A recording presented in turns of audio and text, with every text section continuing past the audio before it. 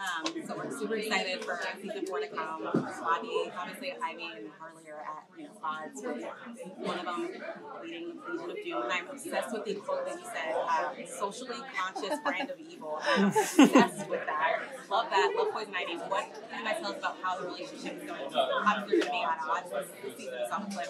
Um, so how are you guys going to explore that?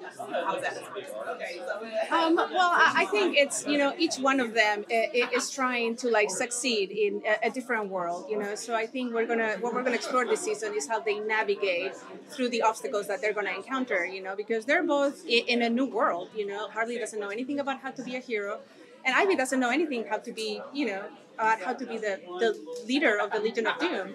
Uh, so I think it's about them, you know, learning and growing, and, and then at the same time trying to reconcile, you know, with each other in their personal life, separate from their professional life. Yeah, and you have a lot of fun with. At the end of season three, Poison Ivy almost destroys the entire world. You appreciate how powerful she is on her own, and now she runs the most dangerous group of villains on the planet. So, arguably, Poison Ivy is the most dangerous person on the planet. And then Harley is, at the end of the day, just a woman with a baseball bat and a willingness to succeed. You know, joining up a group of superheroes who are also just people, you know, like out there doing their best. So I mean, you, you really see Harley as the underdog trying to help fight crime and supervillains, and while Poison Ivy runs this entire gang of supervillains. like so we all kind of there's like will it will she won't she kind of like she's a good good guy now Harley being a part of the family. But I feel like there's gonna be like a I mean it's Harley Quinn so how how much is she gonna be a hero how long is she gonna be a hero how is it she eventually gonna revert back? It's like that's that's the question. I you guys are lead into you guys lead into that this season or do you kind of just hide away from like that she might revert back to me Yeah, well, it's going to be a journey for her, you know. So, and we're going to see it from the very beginning. You know, when she first starts, she's really bad at it, you know, and she immediately fails, you know. So you have to, you kind of see her, you know, trying to get better, you know, and getting help from Alfred actually, you know, who give her some pointers, you know, how to be a hero. Um, and, and then you like you kind of like see her like growing with her Bat-family. I mean, whether if she succeeds or not at the end of this journey, you're gonna have to watch the season. but uh, I can tell you, it's gonna be like a really fun journey for Harley. Yeah, and I think over the course of the season, you find out that Harley Quinn is about Harley Quinn being the hero uh, for Harley Quinn's life. You know, and now that she's with Poison Ivy, she wants to be the hero of both of their lives, and I think that's her journey. Um, one more question. I want to shift it over to him. Uh, the notes you guys got about the back Queen, Harley Quinn's bat costume. Oh, yes. Um, how did you? You said that the process took a little bit of time. Can you walk us through that a little bit? Um, yeah, well, it's like you know, it, it was such an important part of the season, you know, because you're used to see, you know, Harley in our show with her regular clothing, you know. So now we are for most of the season, you know, she's just gonna wear something different.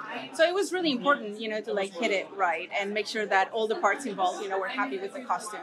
So it just took a lot of searching. You know, we have a fantastic uh, character designer, Warner Brothers, Shane Glines, you know, who was doing like the original design.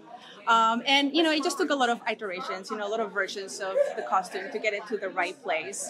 Uh, but the basic concept was, you know, we want to do something that is more Bat-family, but with a little bit of Harley fun, you know. So that's why we're introducing like the colors and some of the cutouts in the costume, so it wouldn't be so conservative and so like strict. Yeah, and those sort of things are super important for all of the executives and everyone at DC, and because you do want to come to Comic Con in a year or two, and you see Bat Harley on the floor, so you do you you have that in your mind where this should be something that's cool enough for somebody to put on and walk around in and feel awesome in.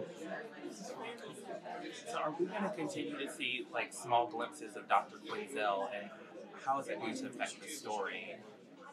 Uh, I think Dr. Quinzel is always a part of Harley. You know, we're definitely going to see her coming back to advise Harley when she's in a sticky situation. But yeah, she always reverts to that. You know, it's kind of like her inner head, you know, telling her, you know, where to go and what she needs to do next. So we're definitely going to see her again. How do you go about picking the array of characters that you display on the show? Because you've done such a great job building out a DC universe. I think better than any other project. Like, Well, I think it, everything starts with the scripts, you know. So all the main characters, you know, are going to be like uh, we're gonna we're always going to take them from the script and the outlines, you know, and then from there, you know, we kind of like build around it, you know. Like I don't know, we have like a party with superheroes or you know super villains, and you go like, what super villains can I put in this party that are good fillers, you know? And then you just go to like the very very long list of DC characters that we have, and then you find really good ones like uh, was it Codpiece? Codpiece, yeah.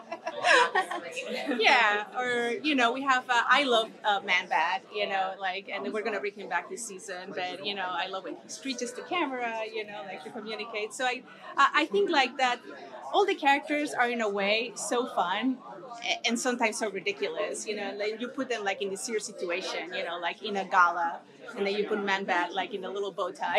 Like, so it's like that's where a lot of the fun comes from. Yeah, mm-hmm. and the executive producers are such huge fans of the DC universe. It's like there's a lot to pull on because they like you remember something like Snowflame. It was something like maybe you had seen inside of like a you know an after school special sort of comic book in like 1987, and there's this guy to teach you not to use cocaine, but somehow he gets superpowers from cocaine. So I think the message is lost, and now you can pull on that because it's funny in itself. Or Codpiece, who it's like I remember Codpiece when I was a kid because he's a guy with a giant laser beam on his crotch, and there's other ones like you know Cock King and other ones who are just a guy in a chicken suit who mixes it up and is willing to do whatever. Just checking it throughout the background. Some you know you get speaking parts and can find their way onto the show. But I think it really helps that so many people involved are such huge fans. Their knowledge goes so deep, and there's that character that you saw and loved when you were a kid regardless of how ridiculous. And it's like, I remember Bouncing Boy, and so who is crazier to fight Weasel than Bouncing Boy? Classic. Yeah. Thank you guys so much. You're welcome.